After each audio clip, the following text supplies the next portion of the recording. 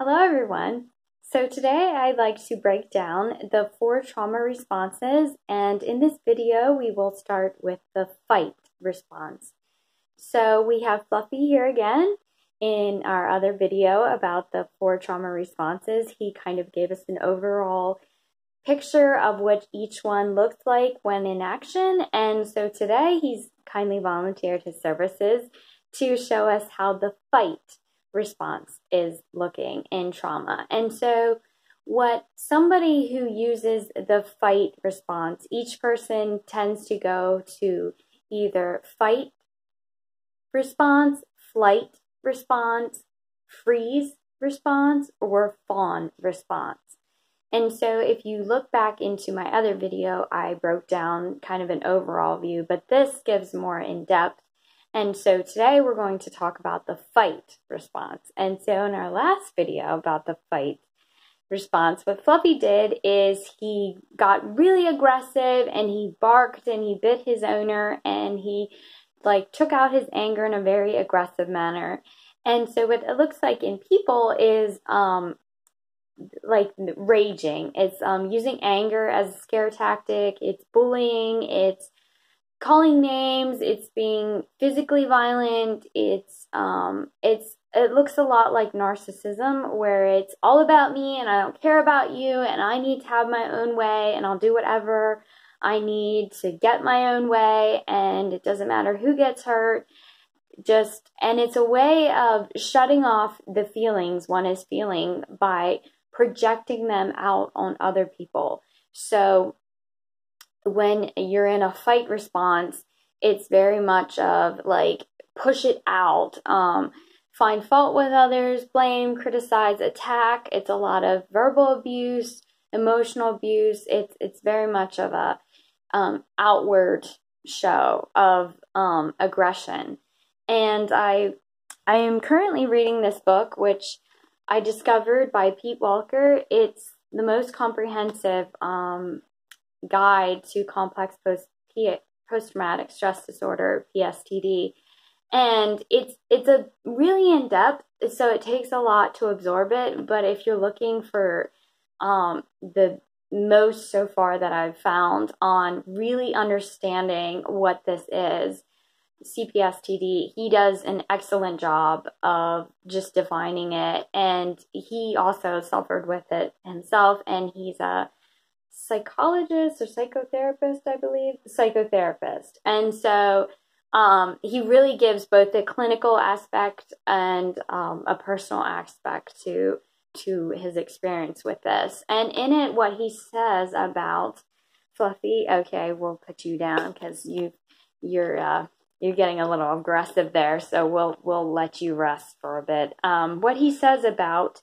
the fight response is it's very explosive and it comes out in controlling and entitlement behaviors. It's very uh, bullying and very like oppressive, and um, it demands perfection. And so the reason um, the fight comes out is a response to the fear and the trauma. What it believes is that it can use rage to protect itself. So you're protecting yourself against your feelings of feeling inadequate or feeling like you're not able to protect yourself. And that's pretty much what as you felt as a child.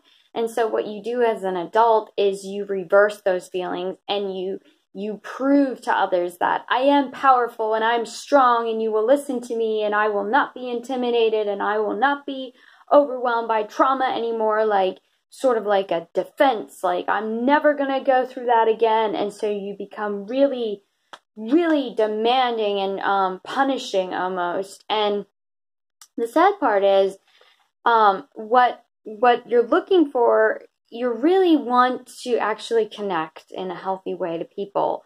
And um, you do want to be able to feel those feelings, but they're frightening. And so you push them out and you push people away by your aggressiveness, but at the same time you remain really lonely and sort of like I you couldn't you can't express those feelings because you have to pretend that you're all big all the time. And so what it does, it it it's a double whammy. It, it's actually shooting yourself in the foot because not only are you not getting the connection and the intimacy, the emotional connection that you're looking for from people that you're close to, but you're but you're pushing them farther away because they're scared of you. And so it's it's really difficult to um, if you have been in a fight mode for a long time, it's it's very difficult for you other than some of the other um, trauma responses. It's very difficult for the fight one to to be like you know what? Like i am scared and i do need help. And picture like donald trump all of a sudden becoming like i'm so sorry like i i'm this sensitive soul that just just needs some love and i need to cry right now. Um yeah probably not likely to happen. It's not in the public sector anyway. And so the same thing is true for somebody who's used to getting their own way by using rage and bullying, and it's not likely for them until they come to a, um, a healthier place in their lives to realize, you know what, wait a minute, I really need to start um, feeling my own feelings and not just pushing them out on other people. And so, um, in these trauma response videos, I do want to say that the the positive characteristics of using fight in a healthy way to protect ourselves when we are healthier, we can transfer from using, like, say, fight response in an unhealthy way to fight response in a healthy way. And what he says here, Pete Walker says, fight can be used as assertiveness, as setting boundaries. It can it can be courage, um, moxie, like like um, still standing strong, resilience, and it also can come across as leadership in relationships. And so, like most things in life, there is a good and a bad side, and it's just how you choose to use it. So, my encouragement in closing to you is this that um, if you if your tendency is to fight and get aggressive instead of dealing with your feelings in a healthy way, my encouragement to you is just to um, I know it's really difficult, but to instead of pushing out all the time, to just kind of like learn to begin to feel those things. And hopefully as time passes you can learn like feelings don't need to be pushed out and they don't need to you don't need to control other people in order to have a connection or or have them do what you want but more learning to work pe- with people and um, also learning more about um, healthy interactions. And so um, Fluffy comes back after uh, multiple therapy sessions, and he's learning that instead of biting his owner or um, jumping all over him or,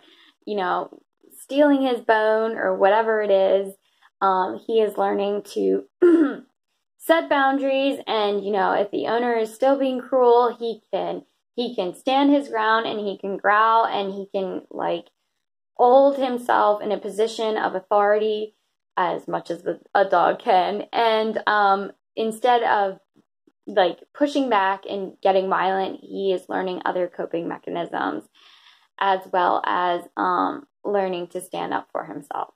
So I thank you for watching. I hope that makes sense. Um, CPSTD is complex. That's why it's called complex post-traumatic stress disorder. But I hope that this provides some clarity. And like I said, that book is an excellent resource. I highly recommend it to anyone who's looking for more information and understanding and also ways to heal. Um, so I really appreciate you watching and I wish you all the best in your healing journey. Have an amazing day.